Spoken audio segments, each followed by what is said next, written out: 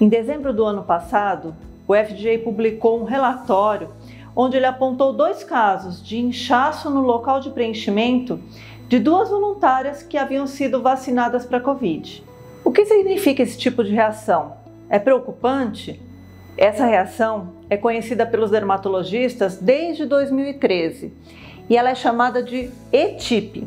É uma sigla que quer dizer edema, ou seja, inchaço no local do preenchimento, tardio, ou seja, ele pode acontecer meses depois de realizado o procedimento, intermitente e persistente.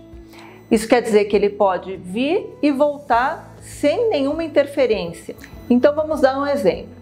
Uma pessoa fez um preenchimento há dois, cinco meses atrás e acorda com os lábios inchados. Esse inchaço fica por dois, três dias e desaparece sem que ela tenha feito nada. E depois de dois meses, 15 dias, ela volta a ter esse edema. Essa é uma reação rara, que acontece somente em pessoas que são predispostas geneticamente, quando expostas a alguns fatores desencadeantes.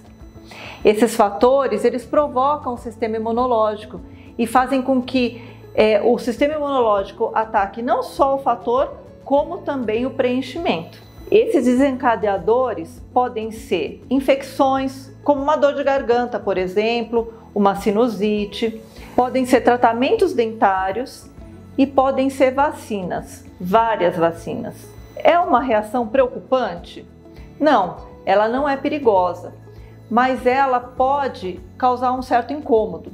Se esse for o caso, o dermatologista pode prescrever algumas medicações com efeito anti-inflamatório e até fazer uma injeção de hialuronidase para dissolver o ácido hialurônico que está naquela região.